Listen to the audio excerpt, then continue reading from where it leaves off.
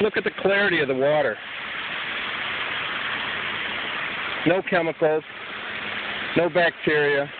This pond is a year or two years old. We have not added any bacteria to this pond whatsoever. About 38,000 gallons of water flows over these waterfalls